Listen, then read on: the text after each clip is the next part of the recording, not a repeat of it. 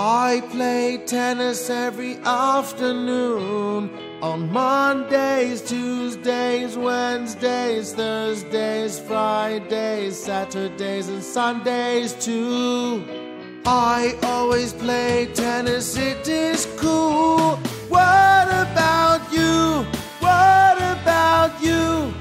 Mondays and Thursdays, my best friend does karate. He sometimes does karate on Fridays too.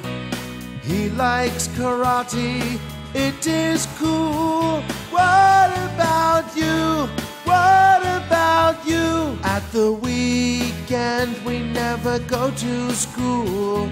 We ride our bikes together and do our homework too. We like weekends, they are cool.